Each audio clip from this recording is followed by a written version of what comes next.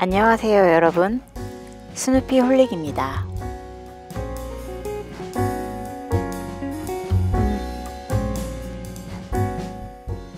오늘은 백차를 마셔보려고 합니다. 어, 백차 중에서도 이거는 숨이라는 차인데요. 어, 백차도 종류가 되게 여러 가지가 있어요. 싹을 이용해서 만든 백호운침 그리고 그 다음 거를 취한 백모단 그리고 좀 더 노엽, 그러니까 쇠한 잎을 가지고 만든 수미가 있어요. 그래서 지금 저는 병차를 이렇게 뜯어먹고 있었는데요. 어, 이거를 제가 뜯는 법부터 해서 다 오늘 마시는 것까지 보여드리도록 할게요. 음, 아까 처음에 보셨던 무서운 칼같이 생긴 거 있죠? 그게 이건데요. 차칼이라고 해요.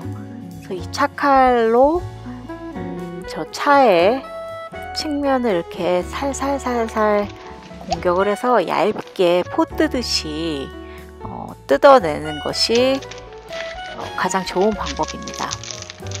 이렇게 조금씩 조금씩 살살 여기 다 틈새가 있거든요. 이파리를 워낙 큰 걸 사용해서 그러니까 그렇게 하시면 돼요.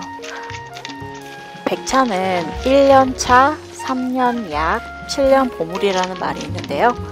지금 제가 마시는 차는 어, 슬슬 약의 단계에 와 있고 보물이 되어가는 중입니다.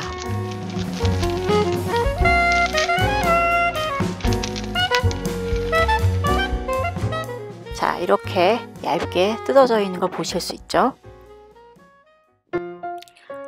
이거는 자사오라는 거예요.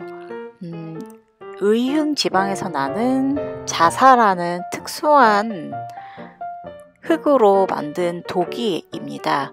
어, 그래서 이게 차 그런 특성을 좀 머금는다고 해요. 그래서 한 가지 차만 우리는 게 좋다고 전해지고요. 그리고 이거는 복건성 지방에서 생산되는 흑유라고 합니다. 그래서 어, 흑유자는 좀 뭐라 그랬지? 차 맛을 되게 잘 살려준다고 유명하죠. 특히 암차나 백차를 마시면 저는 되게 맛있더라고요. 그러면 예열을 시작하도록 하겠습니다.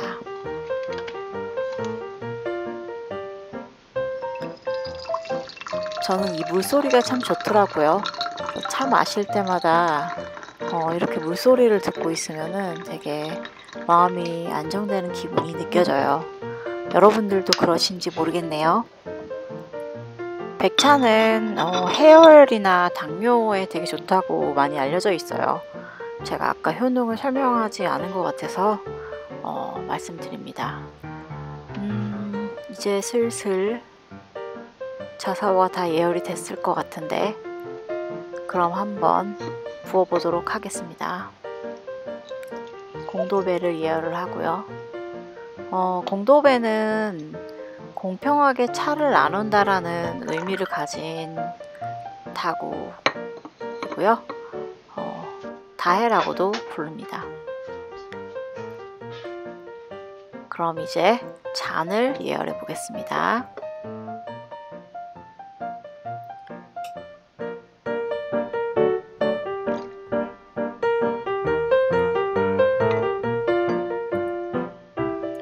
아까 제가 잔 받침을 빠뜨려서 여기 받치고 갈게요.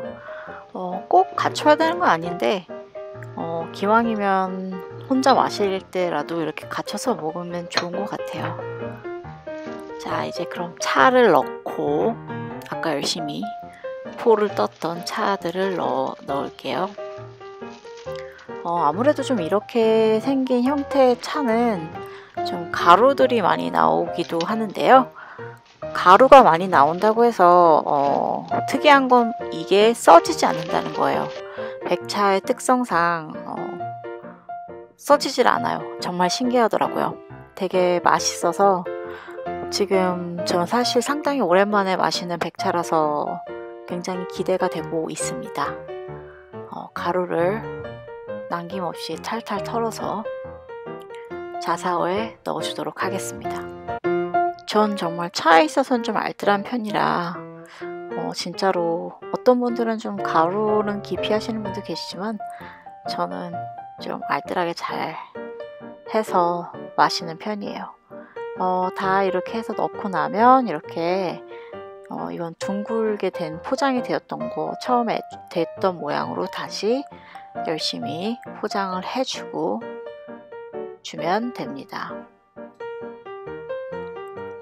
아, 자 이제 그럼 뜨거운 물을 붓고 차를 우려보도록 하겠습니다. 백차도 역시 한 처음에 2, 30초 정도 우리면 되고요. 어, 사실은 몇 초 우려야 되는가 이런 거는 잎의 모양이라든가 찻잎이 부서진 정도 혹은 어, 크기 등등을 보고 판단해야 되는 건데요.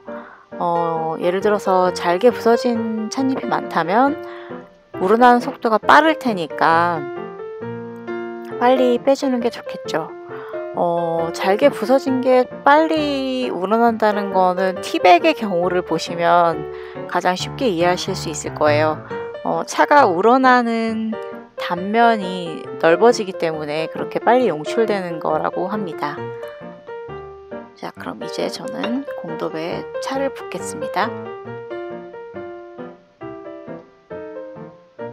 과연 어떤 맛이 날지 오랜만에 마시는 백차는 아주 기대가 됩니다. 차를 마시면서는 한국예술인 복지재단에서 실행한 예술인을 위한 창작 지원금에 대해서 좀 말씀드리도록 할게요. 자, 어, 그럼 먼저 탕색부터 감상해 볼까요? 호박색을 띠는 게 참 예쁘죠? 그럼 맛은 또 어떨지 제가 또 마셔보고 말씀을 드리도록 하겠습니다. 보나마나 맛있을 거예요. 어, 약간 카카오 그런 느낌도 나고 그러면서 어, 향긋할 거라는 게 벌써 향기로 느껴지거든요. 여기 보면 이렇게 차가 들어있는 모습도 참 아름답죠? 이게 흑유의 어떠한 매력이라고 볼 수 있습니다.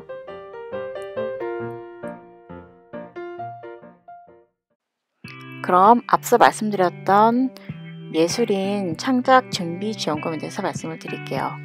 가장 먼저 해야 될 일은 자신이 예술인임을 증명하는 일입니다. 그것에 대해서는 굉장히 많은 정보들이 검색해 보시면 쉽게 찾아질 수 있으니까 한번 검색해 보시면 될 것 같고요. 어, 저 같은 경우는 지금 나오고 있는 첫 번째 책이랑 소개해드린 적이 있는 언제라도 티타임이 나온 상태여서 거의 바로 증명이 되, 됐었고요. 어, 어, 이건 제 세 번째 책이네요.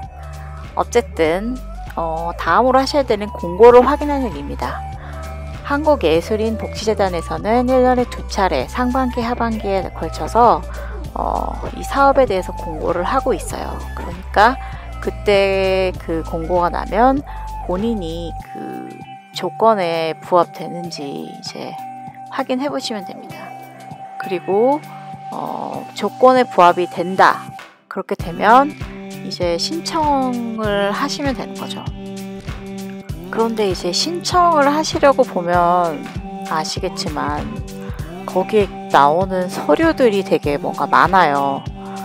그래서 다른 분들은 어떨지 잘 모르겠는데 저는 관공서라든지 컴퓨터라든지 이런 거랑 그렇게 친하지가 않아가지고 어, 되게 겁을 많이 먹었었어요 준비하면서 그랬는데 음, 그냥 정말 너무 간절해가지고 이걸 꼭 받아야겠다고 생각이 들어서 되게 열심히 막 저는 직접 그냥 뛰어다녔어요.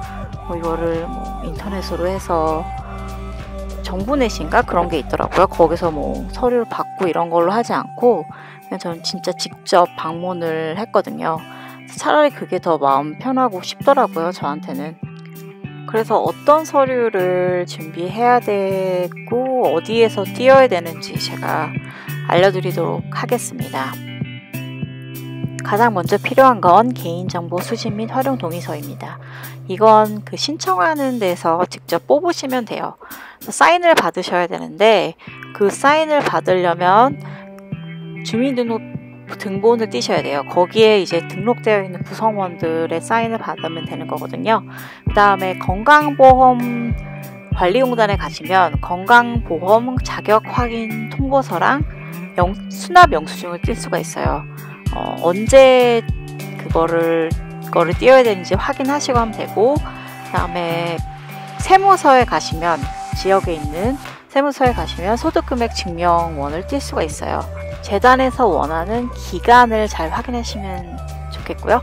마지막으로 창작 준비 지원 사업 예술활동 계획서 어, 이거 같은 경우에는 내가 이 지원금을 받으면 어떠한 창작 활동을 하겠다 이런 거를 그런 계획을 밝히는 건데 반드시 내야 되는 건 아니지만 내면 어, 가산점이 있어요. 그러니까 될 수 있으면 꼭 적어서 내셨으면 좋겠어요. 사실 저도 뭐 여러 가지 이런저런 사정이 있어서 될지 안 될지 잘 몰랐었는데 어, 소식을 기다린 결과 좋은 소식이 있었고요. 어, 창작 지원 준비 지원금을 받게 되었어요. 그걸로 제가 한 일은 7년 동안 사용하느라 인터넷 하는데도 30분 걸렸던 저의 랩탑을 처분하고 어, 이 멋지고 근사한 아이맥을 산 일이었고요. 어, 그 덕분에 지금 이렇게 브이로그 혹은 뭐 유튜브 이런 것도 찍을, 찍고 편집해서 올릴 수 있게 돼서 어, 사실 저는 지금 너무너무 행복하고 만족하고 있습니다. 음, 정말 너무 감사한 일인 것 같아요. 제가 유튜브 말고도 이 컴퓨터로 어, 떠한 창작 활동을 열심히 하고 있는지에 대해서는 다음 비디오에서 다시 한번 설명드리는 걸로 할게요. 어, 오늘 긴 시간 함께 해주셔서 너무너무 감사하고요. 어, 평온한 밤 되셨으면 좋겠네요.